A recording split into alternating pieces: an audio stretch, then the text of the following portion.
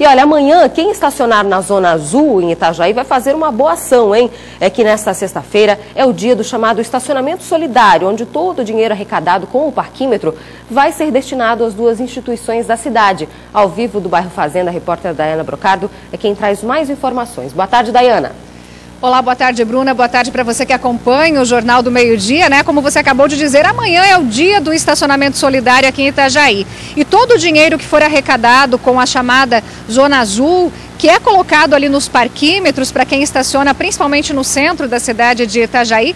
Esse dinheiro vai ser doado para duas entidades importantes aqui do município. Uma delas é a APAI, que hoje atende mais de 400 pessoas com deficiência, oferecendo educação e atendimento especial. E a outra entidade é a Avisa, que ajuda na manutenção do Hospital Pequeno Anjo, que é o único hospital de referência infantil aqui da nossa região. O Dia do Estacionamento Solidário ele faz parte do programa de responsabilidade socioambiental da Estapar, que é a empresa que administra o estacionamento rotativo aqui do município. Essa ação ela é realizada todos os anos. No ano passado foram arrecadados cerca de 10 mil reais. E nesse ano o objetivo, claro, é ultrapassar esse valor, né? Então lembre-se, você que vai estacionar aqui no centro de Itajaí ou nos bairros onde funciona a Zona Azul, amanhã, no momento que você for colocar a moedinha ali no parquímetro, você vai estar fazendo uma boa ação. O que é importante, né, Bruno? Essas entidades elas prestam um serviço tão importante para a sociedade de Itajaí.